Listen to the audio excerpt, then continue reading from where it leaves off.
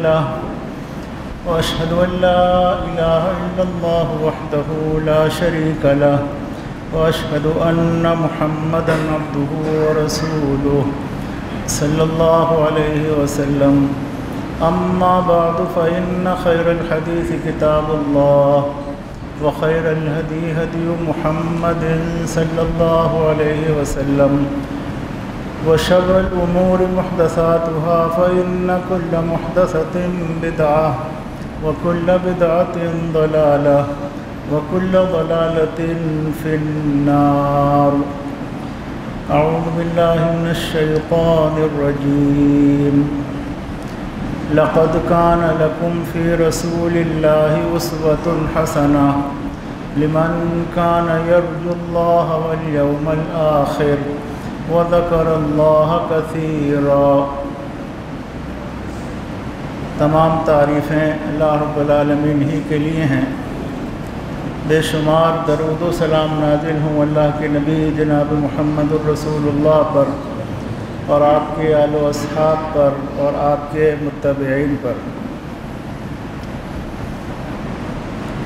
रसूल अकरम सल्लल्लाहु अलैहि वसल्लम की सीरत तैयबा का मताला, उसकी अहमियत और ज़रूरत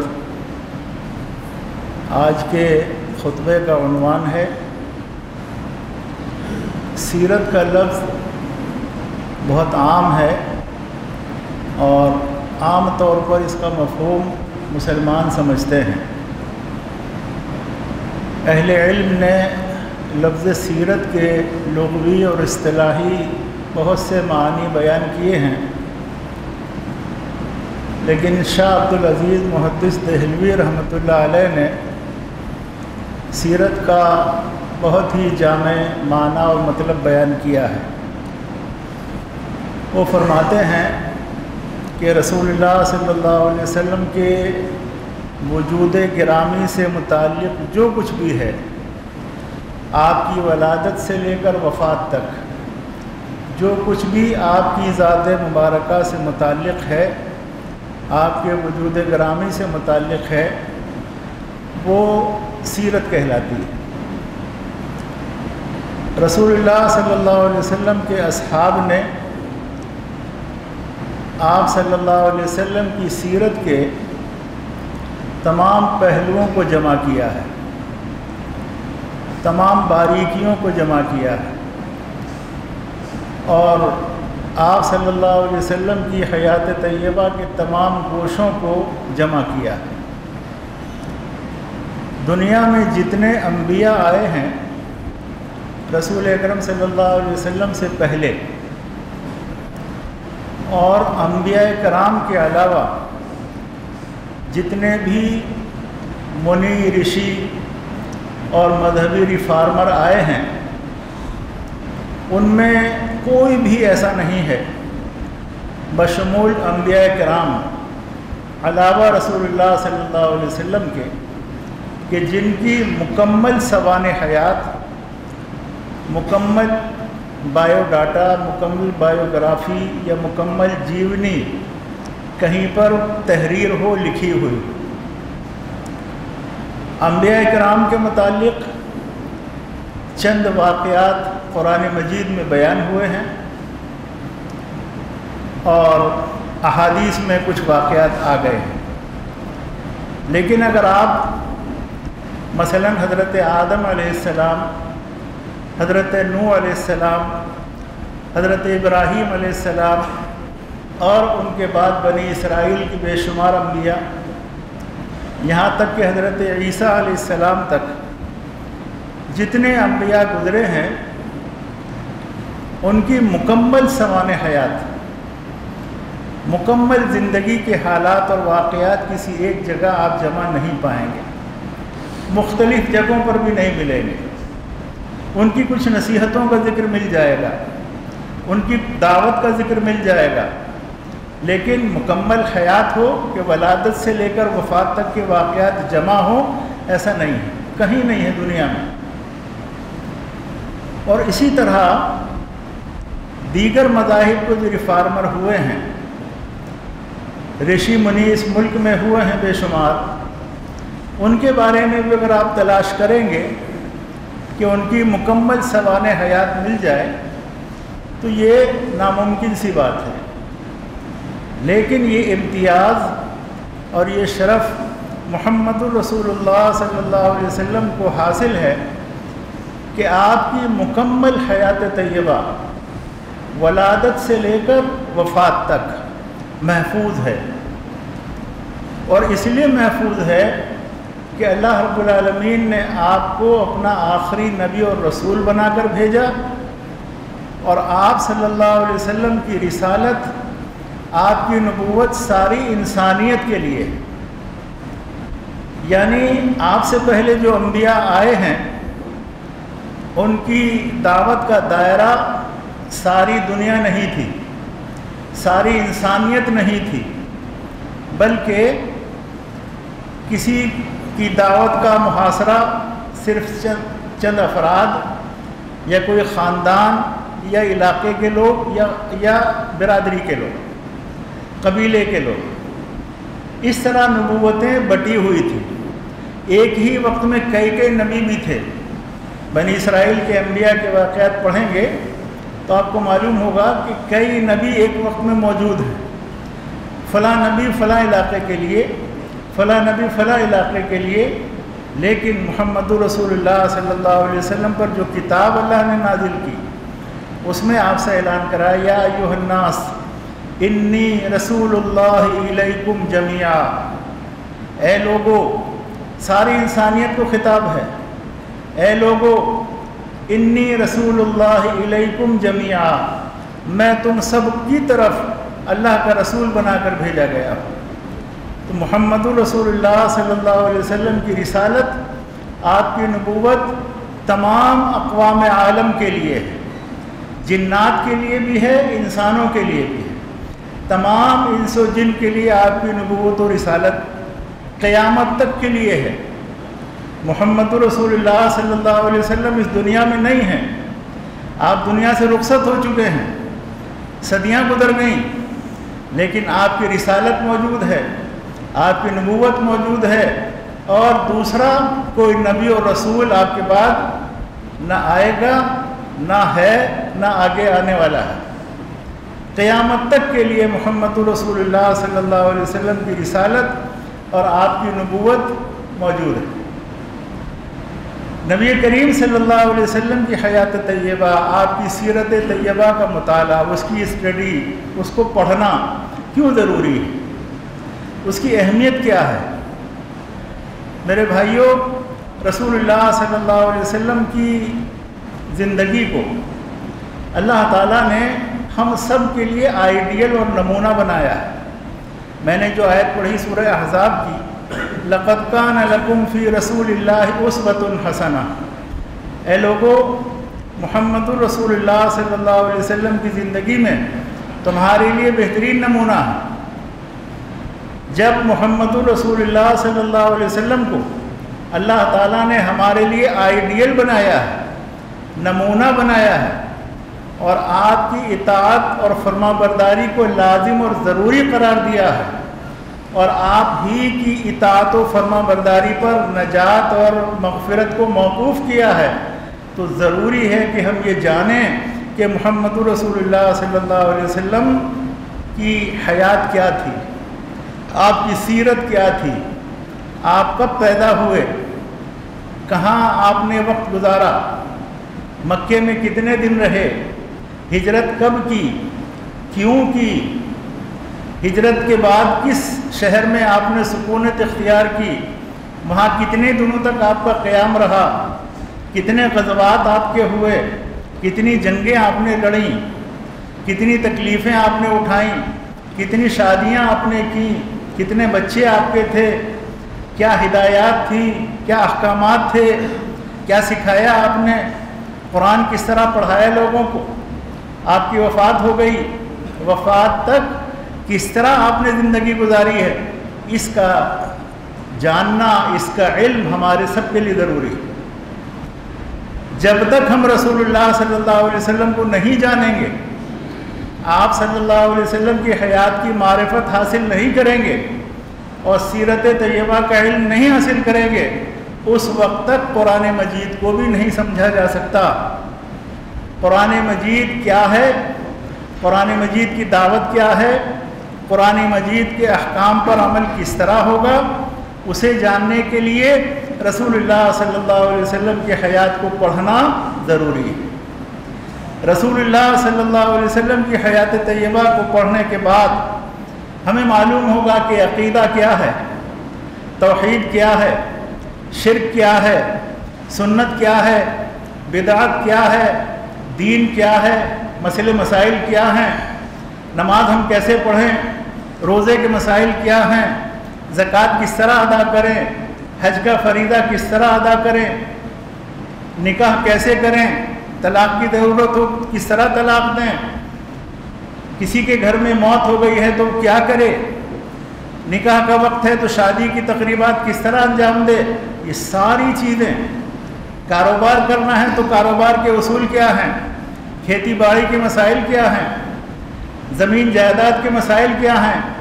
ये सारी चीज़ें जानने के लिए और ज़िंदगी गुजारने के लिए हमें रसूलुल्लाह सल्लल्लाहु अलैहि वसल्लम की सीरत तैयबा को पढ़ना लाजमी होगा, ज़रूरी होगा हमारे लिए। मोहम्मद रसूलुल्लाह सल्लल्लाहु अलैहि वसल्लम, इस दुनिया में आप पर, आपकी ज़ात ग्रामी पर, आपकी ज़िंदगी में भी एतराज़ात होते थे और आपकी वफ़ात के बाद भी एतराज़ात होते रहे, आज भी होते हैं। वो एतराज़ात उस ज़माने में ही बेबुनियाद थे, आज भी बेबुनियाद है। कभी किसी एतराज़ की कोई सही वजह और बुनियाद नहीं रही है। और एतराज़ क्यों होता? है एतराज़ इसलिए होता है कि एतराज़ करने वाले ने मोहम्मद रसूलुल्लाह सल्लल्लाहु अलैहि वसल्लम की ज़िंदगी को पढ़ा नहीं है। वो आपकी सीरत से वाकिफ़ नहीं है। आपकी तालीमत से वाकिफ़ नहीं है। आपकी हिदायत से वाकिफ़ नहीं है। अब एतराज़ करने वाले ने एतराज़ किया। हम मुसलमान जो मोहम्मद रसूलुल्लाह सल्लल्लाहु अलैहि वसल्लम पर ईमान रखते हैं, आपसे दिली मोहब्बत करते हैं और आप पर जान निसार और कुर्बान करने के लिए तैयार रहते हैं, हमारे पास एतराज़ करने वाले का जवाब नहीं होता। इल्ला माशा अल्लाह क्यों नहीं होता? ठीक है, कुछ उलमा जवाब देते हैं। जवाब दिया जाता है, हमेशा दिया है। लेकिन एक आम मुसलमान, उसके सामने जब कोई एतराज़ आता है, घबरा जाता है, परेशान होता है, क्या जवाब दूँ? और उसके नतीजे में कभी कभी खुद गलत फहमी का शिकार होता है। तो इस बुराई से बचने के लिए ज़रूरी है कि हम में से हर एक शख्स मोहम्मद सल्लल्लाहु अलैहि वसल्लम की सीरत तैयबा को पढ़े। आप जितने लोग मस्जिद में मौजूद हैं, और शायद ये बात मैं पहले भी कह चुका हूँ, जितने लोग मस्जिद में मौजूद हैं, हर एक आदमी अपने आप से सवाल करे। क्या सवाल करे? कि क्या उसके घर में रसूलुल्लाह सल्लल्लाहु अलैहि वसल्लम की सीरत तैयबा पर मुश्तमिल कोई किताब है? उर्दू में हो, हिंदी में हो, अंग्रेज़ी में हो तीनों ज़बानों में मौजूद हैं। और अल्लाह के नबी सल्लल्लाहु अलैहि वसल्लम की सीरत, आपकी हयात तैयबा आज दुनिया की बेशतर ज़बानों में मौजूद है। लेकिन हम लोग अंग्रेज़ी, उर्दू, हिंदी आम तौर पर ये ज़बानें जानते हैं। तो कितने लोग हैं कि जिनके घर में रसूलुल्लाह सल्लल्लाहु अलैहि वसल्लम की हयात तैयबा से मुतालिक कोई किताब हो? हर आदमी अपने से सवाल करे। और ये पूछे, क्यों? क्यों नहीं है? क्यों नहीं? जुमे का खुतबा सुन लेना और उसी पर इतफा कर लेना। मेरे भाइयों, काफ़ी नहीं है। ये काफ़ी नहीं है। दीन सीखने के लिए ज़रूरी है कि कुछ वक्त निकालिए। अपने घर में वक्त निकालिए। अपने बच्चों के साथ बैठिए। खुद सीरत तैयबा का मताल कीजिए और अपने बच्चों को भी कराइए। दिन में पंद्रह मिनट, बीस मिनट भी आप निकाल लेंगे तो मसला हल हो जाएगा। महीने भर में बहुत सारा हिस्सा सीरत का आप पढ़ लेंगे और चंद महीनों में मुकम्मल सीरत का मताल कर लेंगे। मुसलमानों पर लाजिम है कि वो अपने नबी के बारे में जाने। हमारे नबी क्या थे? क्या उनकी ज़ात थी? क्या उनकी तालीमत थी? क्या उनकी हिदायत थी? आपको मालूम है, अभी चंद साल पहले एक ईसाई मुद्रा है, जिसका नाम है माइकल हार्ट। एक बहुत बड़ा मुसन्फ़ है, राइटर है, माइकल हार्ट। इसने दुनिया के सौ अजीम इंसानों की तारीफ़ लिखी है। दुनिया के सौ अजीम इंसानों पर एक किताब लिखी है। इस शख्स ने मोहम्मद रसूलुल्लाह अलैहि वसल्लम को पहले नंबर पर रखा।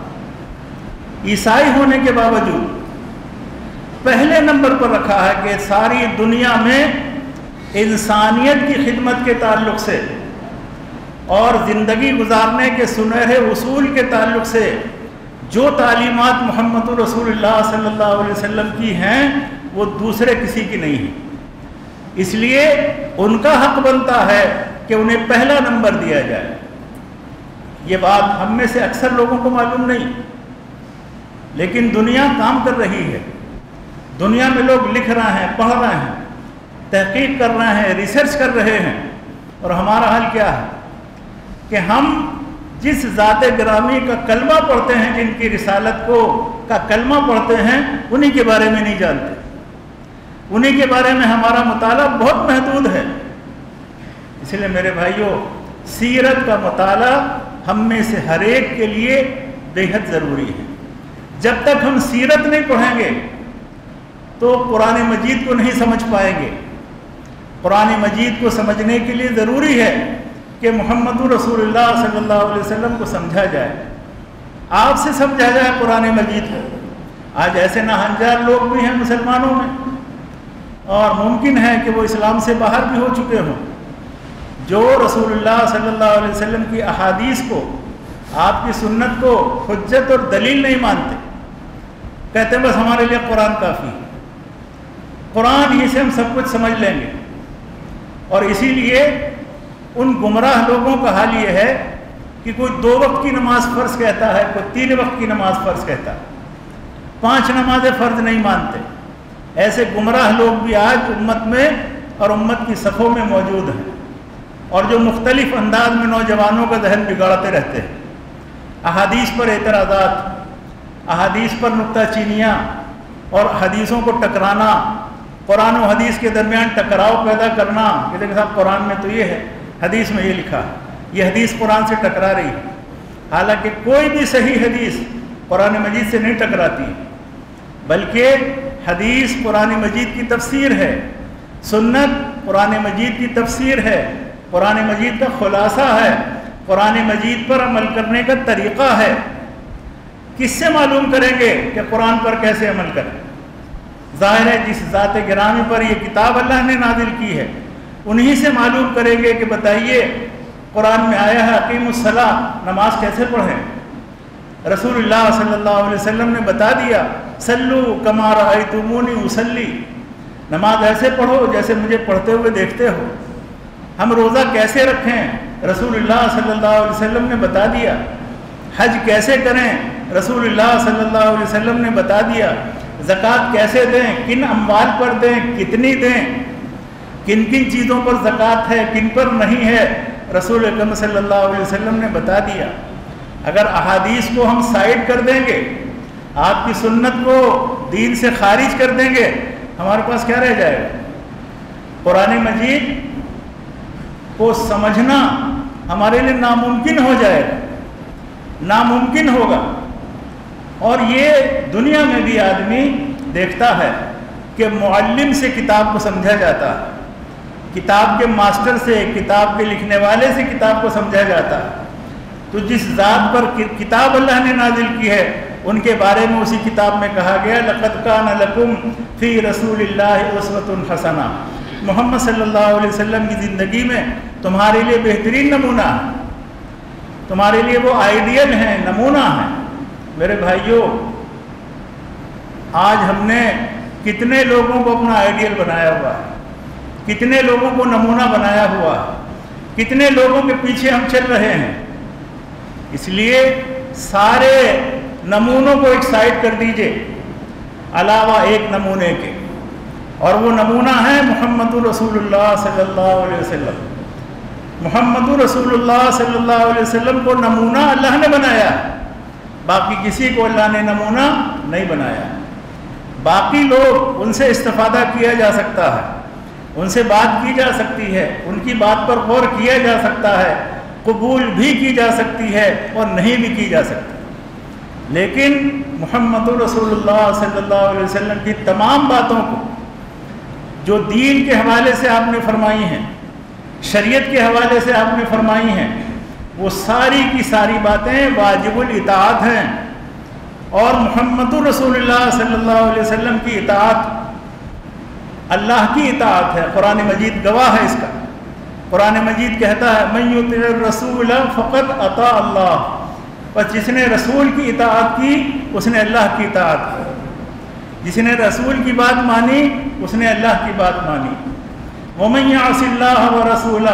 फ़कत दलालम बईदा फ़कत दलालम मुबीना कई तरह की आयात हैं कुरान मजीद में कि जिसने भी अल्लाह और उसके रसूल की नाफरमानी की वो खुली हुई गुमराही में चला गया वो दूर की गुमराही में चला गया तो अल्लाह रब्बुल ने कुरान मजीद में रसूलुल्लाह सल्लल्लाहु अलैहि वसल्लम की इतात को लाजिम और ज़रूरी करार दिया है आप सल्लल्लाहु अलैहि की इतात को अपनी मोहब्बत करार दिया है कुरान मजीद कहता है कि, कुल इन कुन तुम तो हिब्बून अल्लाह फ़तबिऊनी युहब्बिकुम अल्लाह व यगफिर लकुम दुनूबकुम, वल्लाहु गफूरुर रहीम।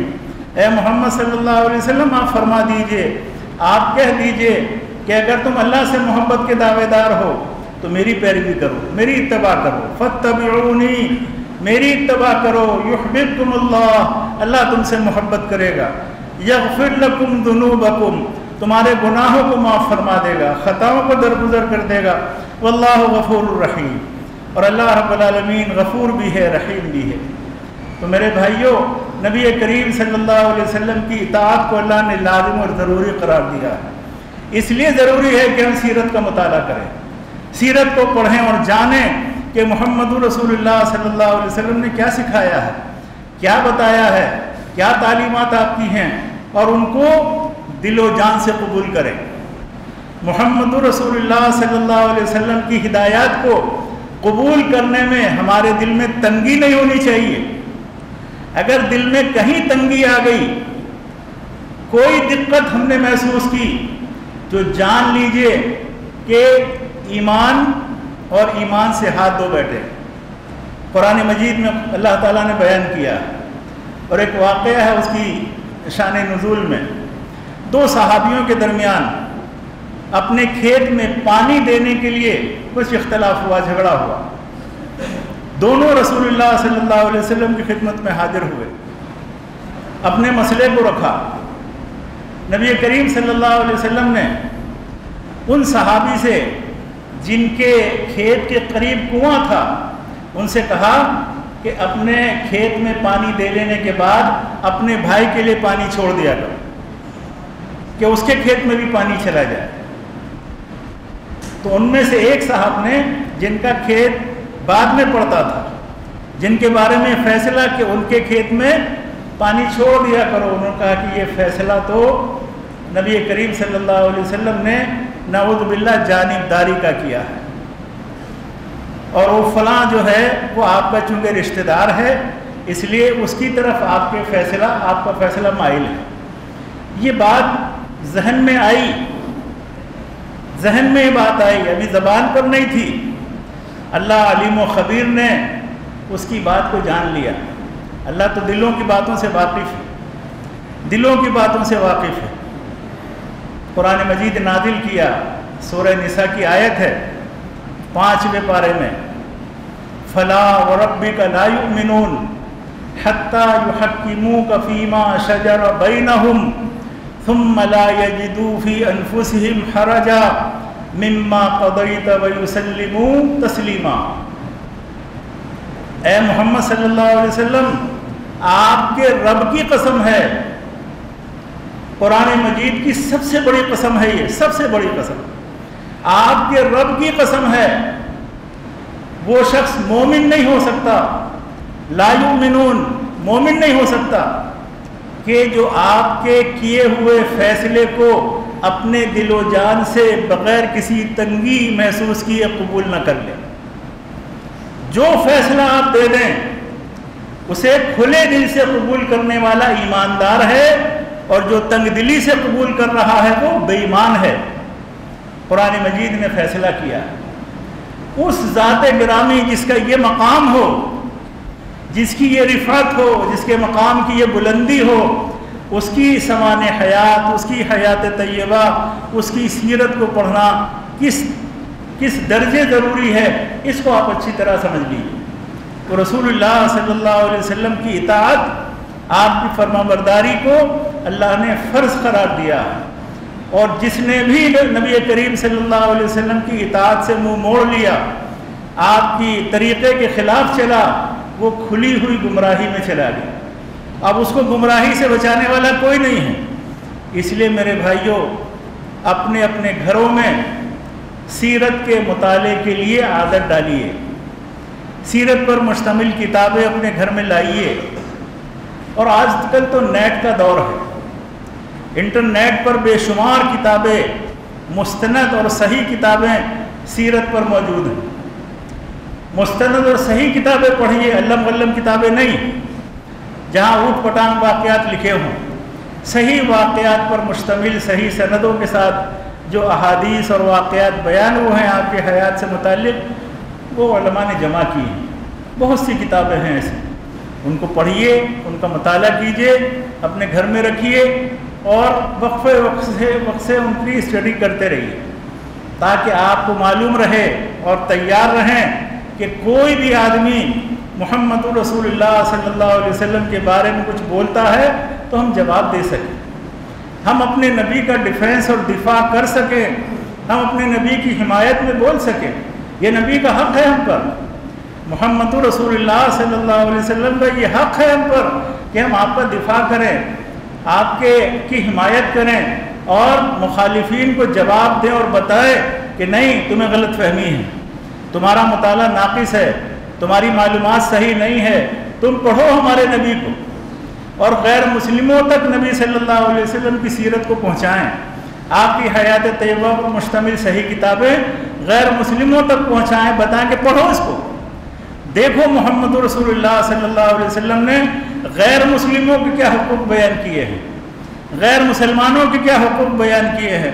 उनको क्या मकाम दिया है? इसे भी समझो। और किस तरीके से आम इंसानियत की खिदमत की तालीम दी है।